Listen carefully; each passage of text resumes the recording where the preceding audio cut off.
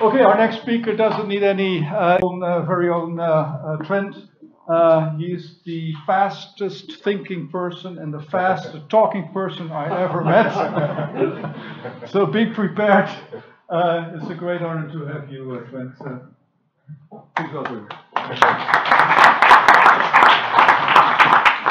Thanks. Uh, so, as a bit of background, um, you know, uh, we've been organizing this meetup now for a few years, and you know, I took it over from um, Andy and Daniel. Daniel's back now, so welcome back, Daniel, if you're here. Yes, here. Is he here? Yeah. Okay. Anyway, though, uh, ever since I, have been co-organizing this um, with uh, Daniel and Andy and then Abhishek and Adrian, um, we, we don't like to get caught. We like to hedge our risks. So I always have a backup of slides of a talk to give. And that way, even if we have two cancellations any given night, we always have a talk. And tonight, today actually, at first it was looking like we even had two cancellations.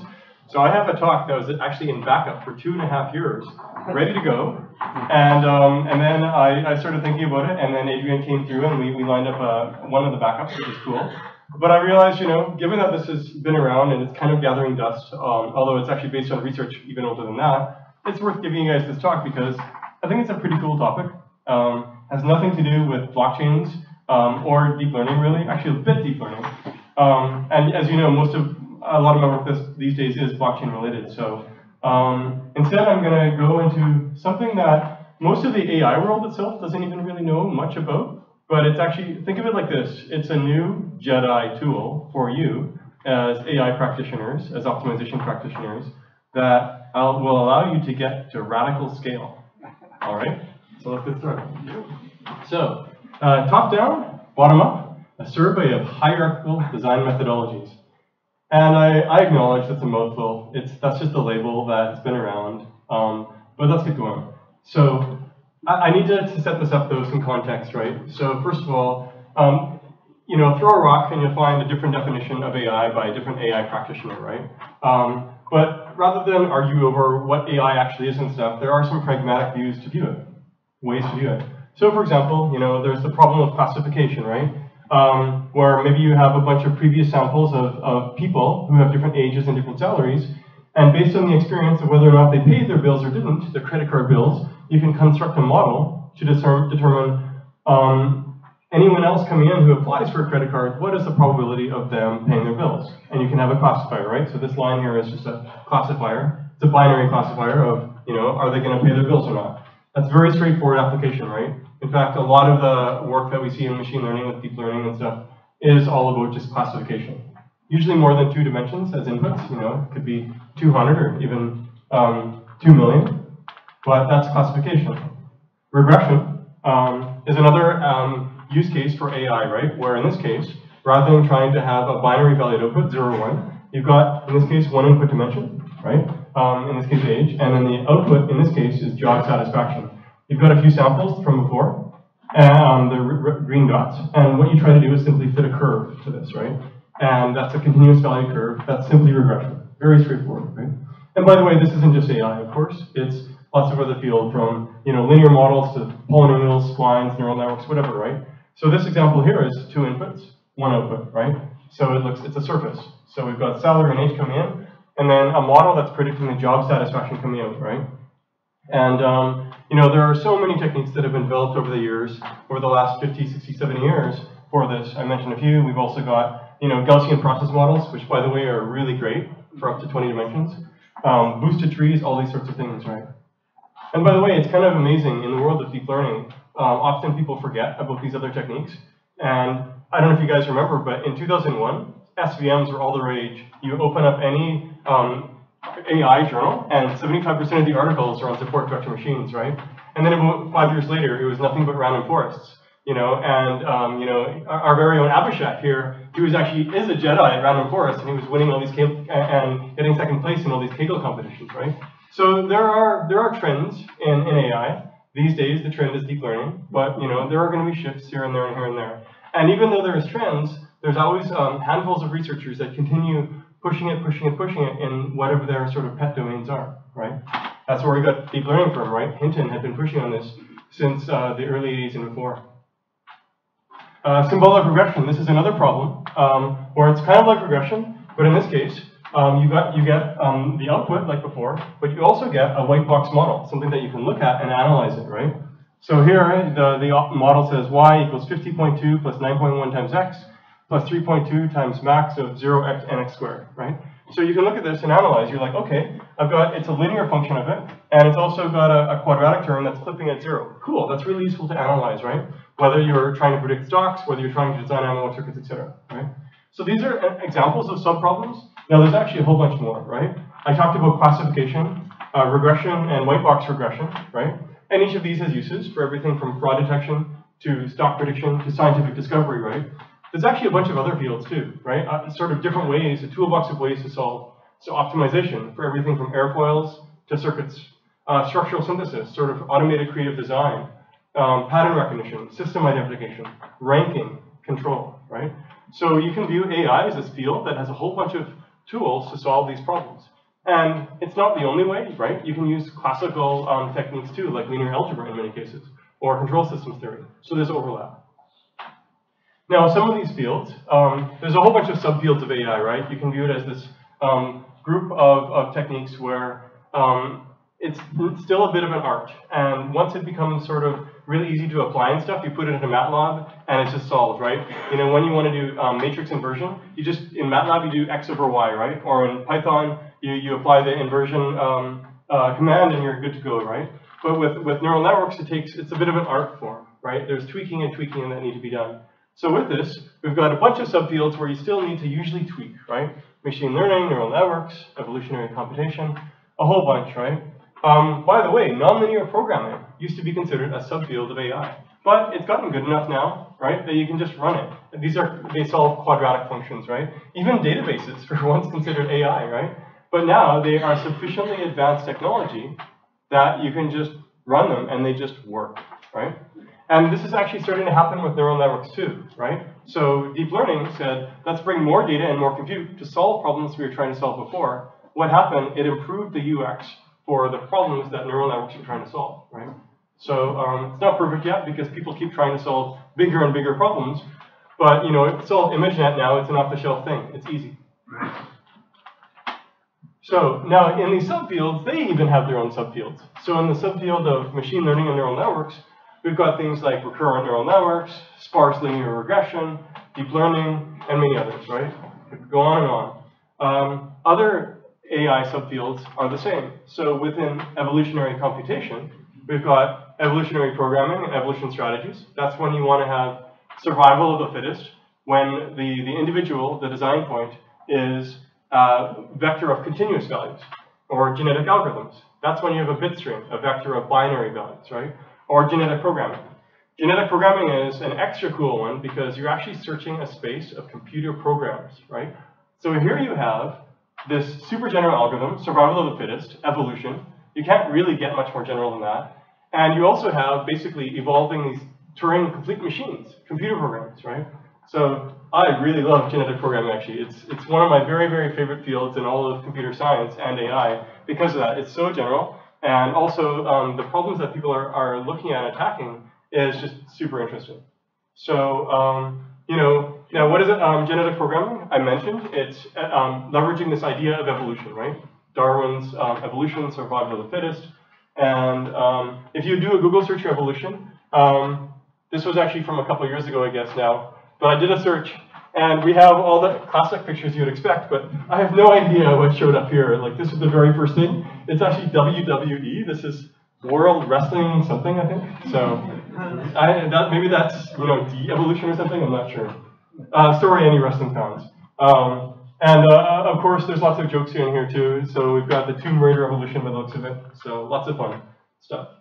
Um, so overall, the idea of evolution is very simple, right? You've got replication uh, of individuals um, then they mutate, they change, they cross over, and then the ones who do well, um, they get selected and move on, right? Um, you could even summarize evolution as um, the least fit die. That's all you need to do. You can have 95% of the population just keep doing its thing, keep doing its thing, and every generation, 1%, 5% just die, and you will have convergence over time, right? So um, that is really the general idea of evolution. I won't get into it in detail. Uh, by the way, you can write an evolutionary algorithm in 10 lines of Python code, And of course, there's probably 100 libraries out there now in various languages, probably a thousand even.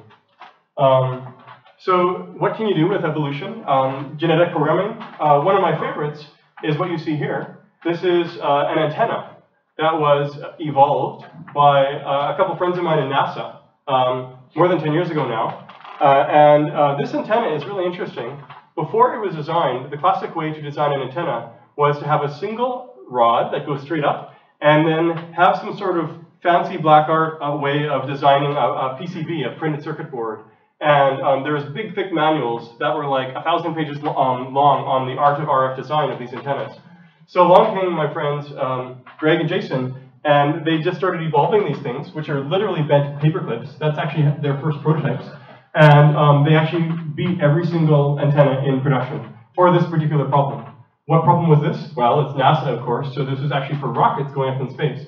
And in fact, within a couple of years, these evolved antennas did go up into space. And, and now they're just part of a standard design process for NASA and JPL engineers. Jason uh, started a company a couple years later and it's been running um, strong for 10 years. So um, evolution at its best, and in, uh, in this case for antenna design, there, the field of genetic programming has a whole variety of cool interesting ideas. You know, how do we get a computer to know what to do? Uh, you know, the Hume Awards where you're trying to compete against humans.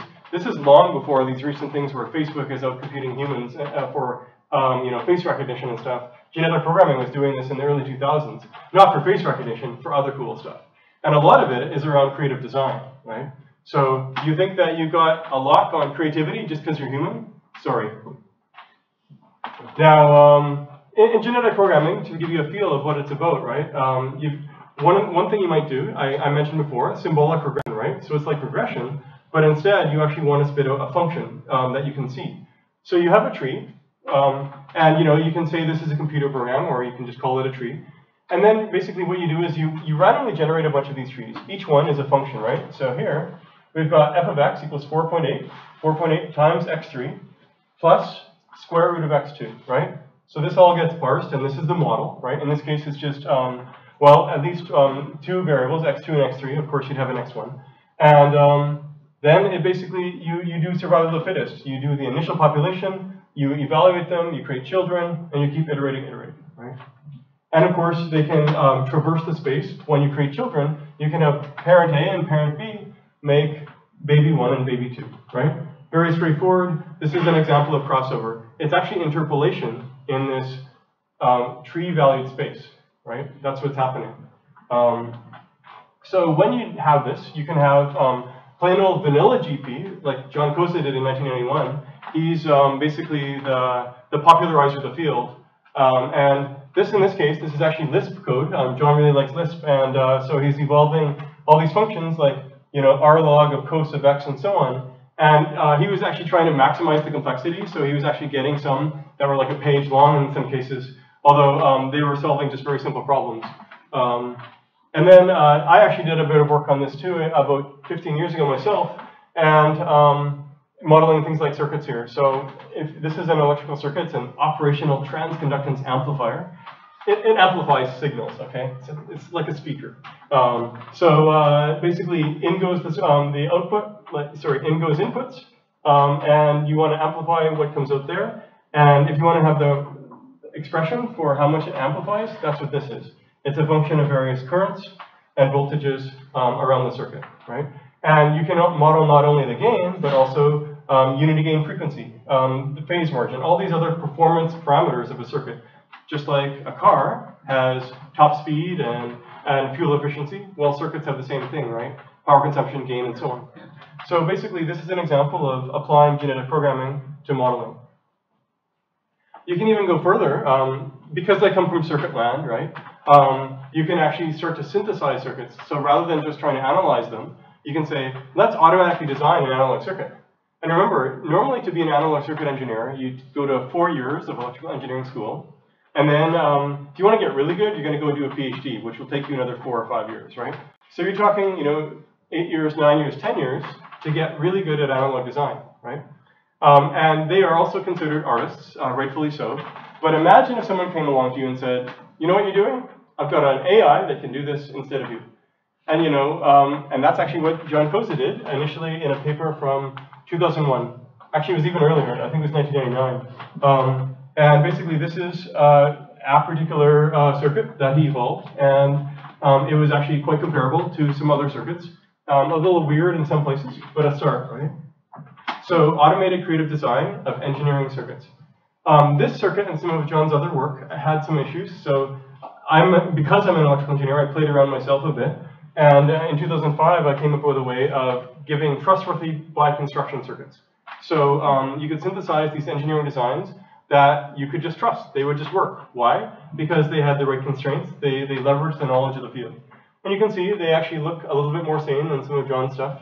Um, and well, maybe you can't tell because probably none of you are analog engineers. But um, if you are an analog engineer, then you'd be like, hey, that's a cool circuit. I know that one. And this, the, the system came up with this itself. Um, and of course, you know, I mentioned before um, uh, the, the antenna. Another example from my friend Greg, one of the antenna guys, was jewelry. So he was doing this about uh, five or six years ago. He was synthesizing jewelry for fun. He's like, why stop at antennas? Let's make some pretty things. So what he had was basically, he had a website called Orbini, and it was Earth's largest jewelry store. So what you would do, you would go in there and it would show you um, this. This is actually a screenshot from Orbini. And um, whatever, all of these are randomly generated. If you like one of them, you click on it, and it will give you 10 variants of it. You click on one of those, it'll give you 10 more variants. And it actually had billions and billions and billions of variants, right?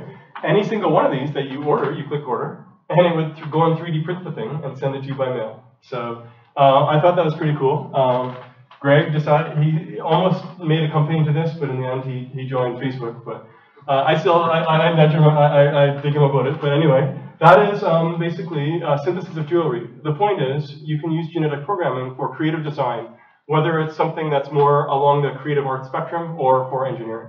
Okay? So I've talked about genetic programming and more broadly optimization. And, I, and then also the idea of creative design and so on, right? Um, but what I've showed you so far, if you think about it, they were all pretty small, right? You know, you look back to this, it's, it's just uh, not that much complexity, right? And these circuits that I showed you before, they had maybe seven components, 10 components, 12 components, right? Or those functions, you know, maybe, maybe five variables, 10 variables, 20 variables, maybe, you know, 15 terms max, right? But what about trying to get bigger? What about scaling, right? And any of you who does any sort of engineering or AI work, you, as you know, scale matters. You know in the blockchain world too, scale really matters. Um, so, you know, it's one thing to think about automatically designing a piston, right? It's pretty simple, not that much complexity, even if you look at it. You can probably imagine how to parameterize the thing, right? But what about automatically designing a car, right? What then, right? How are you going to evolve a car? A car's got not just five or seven components. I didn't even, I haven't even counted. I don't even know how you count, but at least a thousand, maybe even 10,000 parts, right? probably Elon Musk knows because he's probably comparing Teslas to Mercedes, right? So, um, so let's say 5,000 parts, right? So how do you evolve a, a, a, part, a car with 5,000 parts? And here's all the parts, right? That's going to be quite a stretch for um, any optimization or synthesis algorithm. It doesn't matter if it's genetic programming or anything. Um, it's just a big stretch. Or um, the next one, circuit design, right? So um, if you think about modern chips, they have 10 billion transistors on them. A single chip um, inside your phone will have 10 billion transistors. The GPUs that you're running for your deep learning, 10 billion transistors or more, right? So how do you evolve a design that comes up with 10 billion transistors, right? Design teams do it. You can have a design team of 10 or 50 engineers, and they're able to design a chip with 10 billion transistors in a matter of months with 10 people. But can you even conceive of how an AI could do that? Or, what about animals, right? Um, um, I, I, looked it up, and um, an animal has, like, like humans, has 37 trillion cells, right? So 37 trillion building blocks at the level of the cell, right? How do you evolve that, right? So you might say, well, what if we try to approach the design flat? We just look at it and we try to basically run around and optimize and randomly connect these cells and hope that they morph into some Neanderthal man, or hope that they morph into uh, some smart car, right? Well, that's actually what most of optimization design does, right? When you run a neural network training, you're actually running optimization flat. Right? Whether it's, you know, 10 hit, um, hidden layers or 10,000 hidden layers, right? Um, but that actually doesn't scale, right? Um, with deep learning, we're actually getting away with it more than before, just thanks to Moore's law, right? Because every 18 months, we get actually double the, the amount of compute, right? So 50 years with the Moore's law um, is what actually made all the difference for AI for neural networks, right? The algorithms themselves aren't much different than the, the nonlinear perceptrons of the early 60s. What's changed is Moore's law, right? 50 years of storage, 50 years of compute, and 50 years of data gathering, right? Um, so that's how we've got there with, with Moore's law. However, what if you actually have your deep learning and it's taking you a day to train, but you need a model that's 10x bigger? You just see this. Or what about a thousand? Are you going to run your, your model for training for a thousand days? Right? What if there's another way? And of course, this isn't just for deep learning, right? This is for a car or a circuit. Right? Well, I, I talked about how do they design circuits. You know how they designed the shuttle? It was actually top-down design. So basically, uh, some super high up person, probably even the president, I suppose, said, okay, we want a, a shuttle, a reusable flight vehicle, right?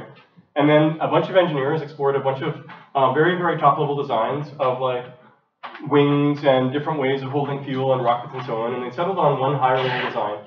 And then within each, each of those components, they said, okay, we've got this massive thing right below the belly of the shuttle that stores the fuel. We need to design the details of that. And they drilled in and they designed the details and the sub-details and the sub-details. They did the same thing for the shuttle itself, right? So they drilled down and drilled down at, at, at each level. They, they said, okay, I've got the design of, say, roughly the cockpit, but what about um, the computers in the cockpit? And inside the computers, what about the specific chips and so on, right? So the, the space shuttle um, was actually designed from the top down, wildly, wildly complex. So this is a, a way to approach design of very complex systems from the top downwards. And I will elaborate on this more, but this is just one of the ways. Um, circuits themselves have hierarchy, right? So if you look at this circuit, this is a very simple amplifier. It's actually got three or four levels of hierarchy, if you want. Right? Bottom-up design, right? So um, we, with evolution, with other things, we, have learned about life that started single-celled organisms. Um, so how did it get from single-celled all the way to these organisms like us that have 37 trillion cells? What does that look like? And the answer, as I've hinted, is hierarchy, right? Um, so it's hierarchy is a way to bring method to the madness. What are the key tricks? Divide and conquer. Specifically, you divide, then you conquer, you solve each subpiece on, on its own, and then you stitch it back together, right? And interestingly then, so if we've got this hierarchy here where there's the overall system, and it's got a bunch of subblocks, and each subblock is a bunch of other subblocks, and so on and so forth, here's the cool thing. This is maybe the key thing. The difficulty of solving for this overall system is only as hard as the difficulty of solving for one of these blocks. So whichever is the hardest block, that's roughly the difficulty of solving for the system, right? And essentially you've got log scaling on the rest. So log scaling overall, and it's just basically the difficulty of just one of the blocks. So um, if you want to apply a hierarchical design methodology, whether it be something top-down or something bottom-up, um, then you actually have to follow a particular recipe, right? You need three things. You need a way to estimate the performance of each block, and I'll talk about that. So this block here, if I have a particular design um, of, say, a circuit, what is its power consumption? What is its gain? Right? I need a way to search that subblock. And what does that mean? If I'm designing a car, I need to be able to wiggle the diameters of the wheels and to um, wiggle the, the, the, size of the engine, and from that, estimate um, what the, the fuel consumption is, etc. And finally, I need a way to stitch together the blocks. So let's say I've got um, an, an internal combustion engine, I've got tires, I've got an interior, and I need to stitch these all together into a larger car, right? And within a tire, I've got different subpieces, right? So if I have these three things, a way to estimate performance for each block, a way to search each block, and a way to stitch them together, then I can start to approach hierarchical design. So I talked about performance, right? So basically we've got a circuit or some other block. In go the inputs, um, and out go the outputs, in, um, basically, and you have some sort of model. So in the case of circuit land, um, let's say I've got an op amp like I've showed you before, I have to have things like the resistor values, the transistor widths and lengths, and so on. I run a circuit simulator like SPICE. It's solving some dynamical uh, system differential equations. And, and then it outputs, for example, what the gain is, or the power consumption? And uh, this is more general too. You know, circuits aren't the only um, field that have simulators. We've got simulators for automotive design, for airfoil design, and all of this, right? And that's and all of them at the very, very core, they're solving a system of differential equations. There's other ways to do it too, but that's usually the way to do it. So overall, um, it turns out, in, if you're trying to solve, do hierarchical design, there's actually quite a few different approaches. I hinted at them, right? I talked about flat. Um, I'm going to talk a bit more about some others. I'm going to talk about top-down design, but a very particular variant, which is actually basically the only real structured way to do top-down, and it's called constraint-driven design. And once I've talked about those, I will talk about uh, bottom-up. So in top-down design, you start off with constraints at the very, very top. And I hinted at this before, right? It's like the president says, we need a reusable space launch vehicle, right? Let's call it the space shuttle, right? Boring as a bus on purpose, right? Um, and then basically these constraints go to the system, and then what happens is, um, let's see here. So basically, the, the engineers um, or the algorithm runs and runs and runs and tries to solve for that design, saying, okay, it's got to be able to get into space, it's got to be able to land slowly enough so that it doesn't crush the astronauts, and a few other things, right? And um, it comes up with an, a, a, design, right?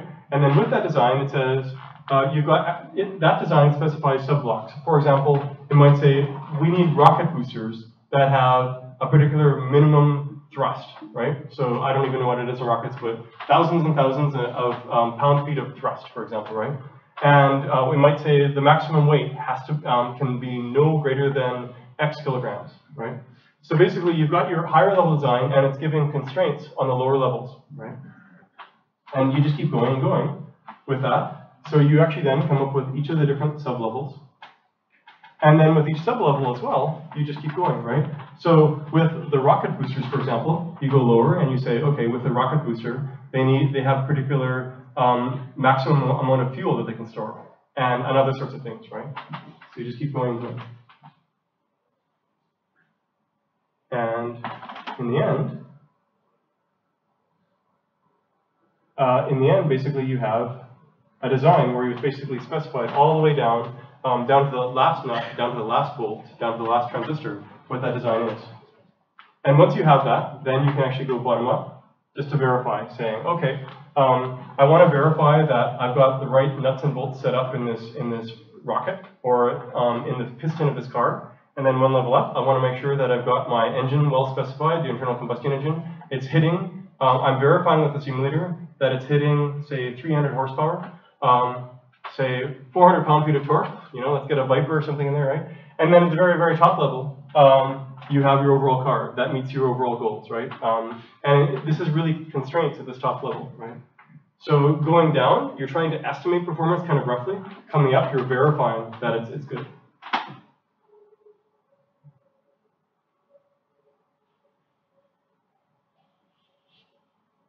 So this is basically, oops, here we go. So what I talked about to start with was um, this approach for top-down design, where um, traditionally it's actually been really hard to do because you actually have to have your own manually created model of everything going downwards, right? Think about like the, the space shuttle designers, right?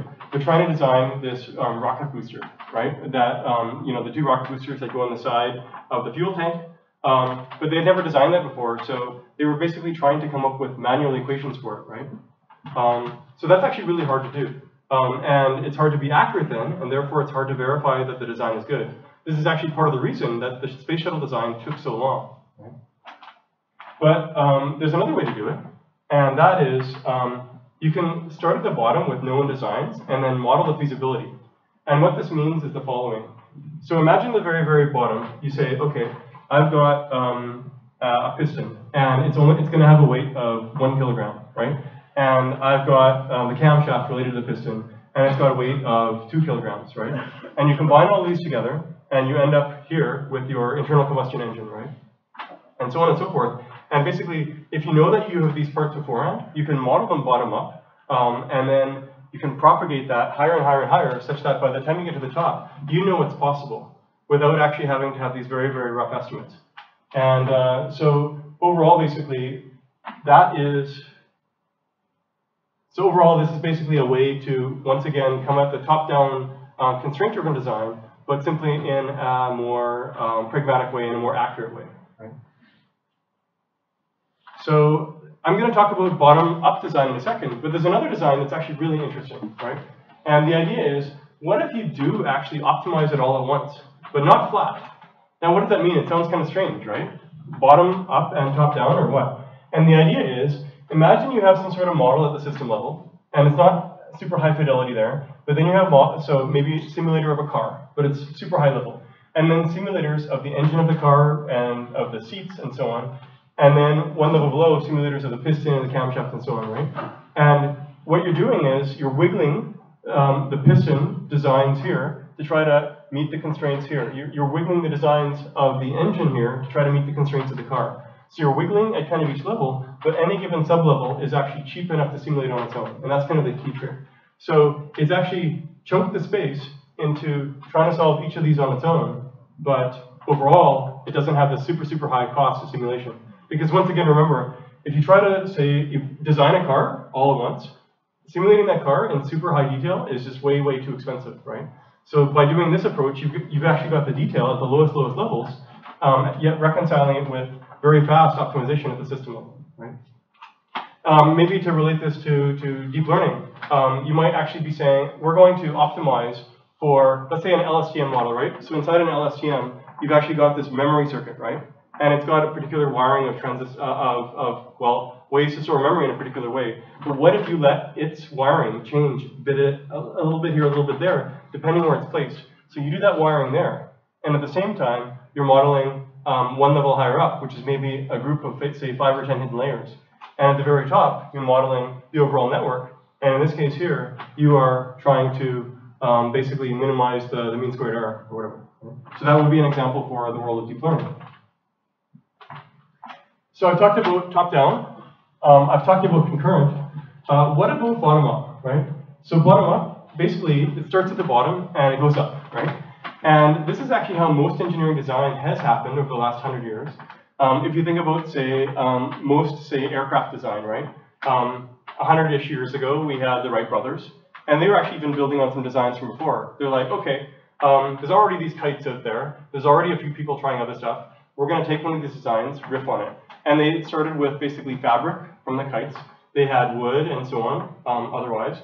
And then at the same time, uh, they said, okay, we've got this building block called the internal combustion engine, which had just recently been invented. They actually had to tweak it a bit in order to be simpler, um, because it, the traditional ones were for cars and they were too heavy, um, and, and, some other building blocks. So, so they basically took existing building blocks, they tweaked them a bit here and there and here and there, and assembled them to a higher and higher level design, right? And ever since then, uh, with the airplanes, there's been an evolution here and there and here and there. Uh, for example, um, a, few, a few years after the Wrights came along, uh, the ailerons were invented. And this was a, a more flexible way to, um, to control. So instead of the wing warping that the Wrights used, kind of like stretching a kite, you could actually just bend the wing directly um, at, with ailerons, right? So that was a new building block that was invented.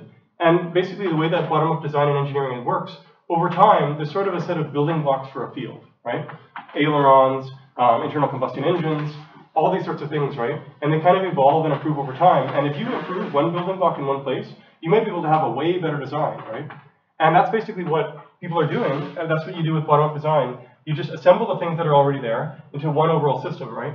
When the creator of the Oculus Rift created the Rift, he actually didn't have to invent everything. He just assembled some off-the-shelf components to build the Rift, right? And then after that, you know, they got bought for a billion dollars and they tweaked this and they tweaked that to make it better, better, better. Right? So the idea of multi-objective bottom-up design is taking this idea and formalizing it, right? And what it's doing is saying, I'm going to actually make models of the performance trade-offs of these lowest levels, right? So what is the trade-off for air, airplanes, say? Um, what is the trade-off of propellers? Um, the weight of the propeller, the, the speed that can handle, and so on, right? And not just propellers, but also the ailerons and so on. And then one level up with, with the wings and, and the cockpit all the way up to the level of the airplane. So you model going up, and you get a trade-off for the propeller between, say, weight and speed, right? And higher up, too, for an engine, say, you might get the trade-off um, between weight and um, fuel consumption. and um, horsepower, right? So you, you have trade-offs all the way up, and the cool thing is, once you solve here to get this trade-off, and here to get this, you combine them into this bar, and you get this trade-off here. you get the trade-offs for each of these, and you pull them all the way to the top, right? And so once you have the trade-off for any block, you no longer have to go back and optimize that thing, right? And neural networks, once you have your trade-offs for your LSTM designs model, you don't need to go back and model them again. You know right? So some of them might take more um, flops, some of them might have better memory, some of them might have more compute. Losing my voice. I'll get there, we're almost done. So, um, so basically this is the idea of bottom-up design, and um, it's basically, like mentioned, it is a structured approach to do what we've been doing for 100 years with engineering design corporate. Uh, as an example, uh, yeah, let's see here. So here's an example for a circuit, right? So at the very, very lowest level, uh, we've got all these fancy circuits like this one you saw before, the Miller OTA, but there's other ones, like this Cascode OTA, a symmetric OTA, a bunch of stuff you guys have probably no idea about. But here's the thing, right? You combine these together into um, one level up and then one level up, and at the very, very top level, you get, in this case, it's an ADC, uh, an analog to digital converter, right? So each of these things here is actually one of these building blocks, right? And then this thing here, it's another building block from over here. That's these, right? So this is an example where you can kind of peek inside and see the whole structure for the design. And so the amazing thing is, rather than trying to optimize this whole thing flat, all I did was actually it optimized for the full trade-off of this circuit, the full trade-off of this circuit, the full trade-off of this. Same thing over here for the DACs and so on.